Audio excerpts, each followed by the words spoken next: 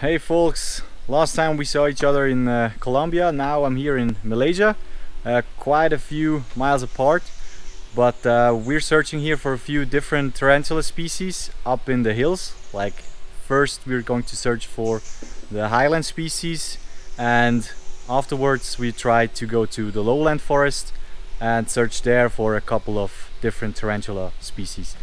So yeah, it's quite difficult actually here in the highlands because the rain is really bad and the weather as well. So there are quite a few thunderstorms at night and during the day it's raining as well. So we have about 15, sometimes even almost 20 hours of rain in total. So that gives us not that much of time to like search for the spiders.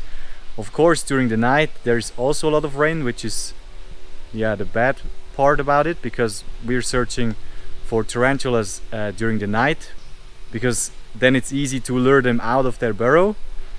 So I'm not sure if you're going to find all of the highland species here. Uh, we have only a really limited amount of time here in Malaysia and of course also in the highlands here.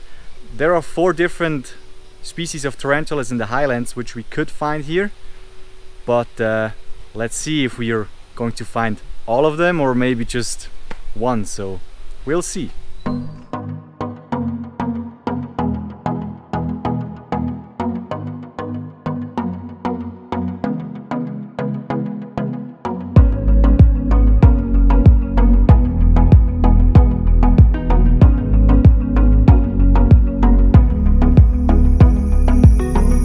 We just spent the night searching for tarantula spiders up in the hills now.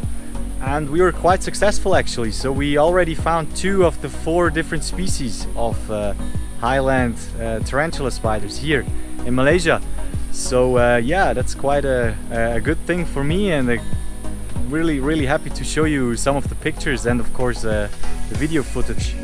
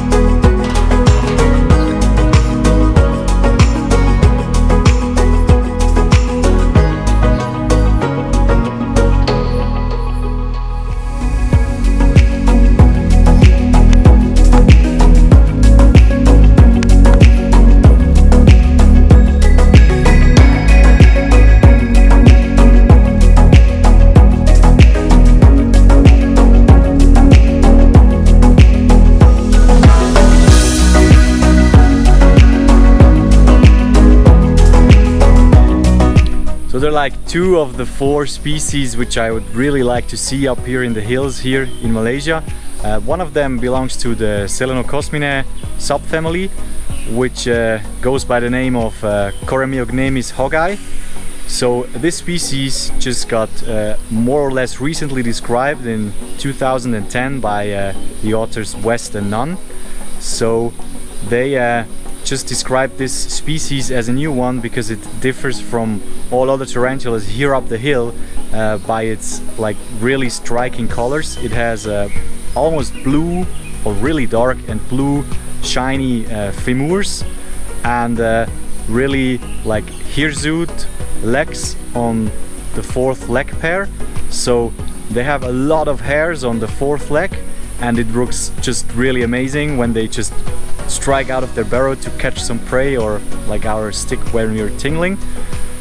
So uh, I'm happy to show you this species right now because we managed to finally found this one yesterday night. Um, I won't lie to you guys, it was an easy task. They were everywhere here up the hills. Um, the guide I'm with told me that uh, there were many many more specimens here a few years ago. So this species uh, got really smuggled by a lot of people and is still getting smuggled.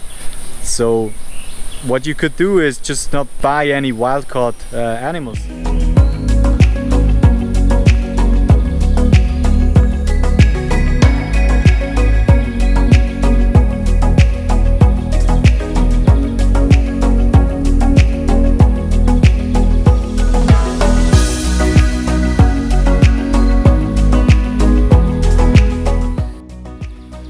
So this is what I meant with the hirsute legs.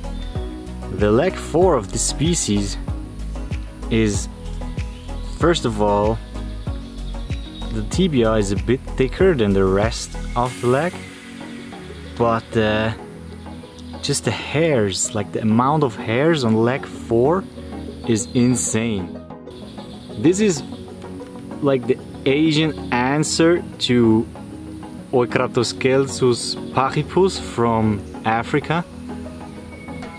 They also have this kind of hirsute legs.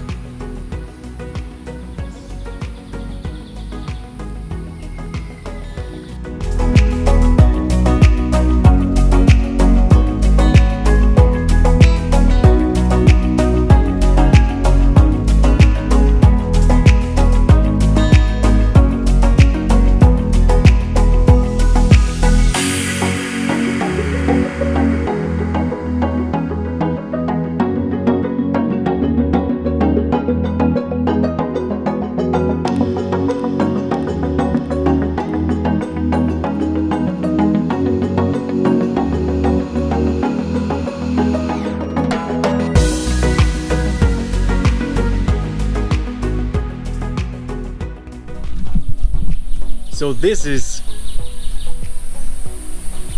a walking Coremiocnemis hoggi. Uh, just give me a second.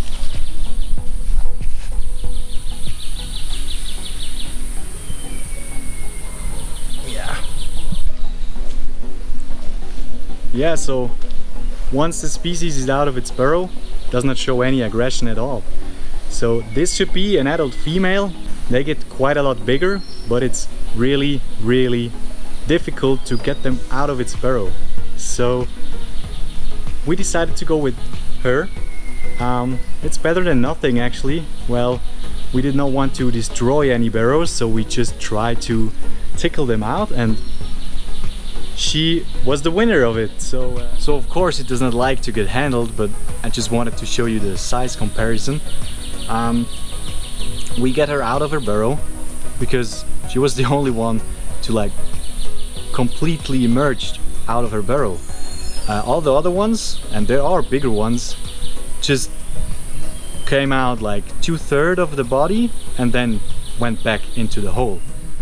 So that was it. That's the end of the video. If you liked it, please leave a comment below.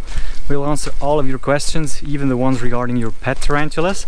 And make sure you subscribe to the channel, turn on the notifications on the left side so you always get an email when there is a new video from us. So yeah, see you in the next video then.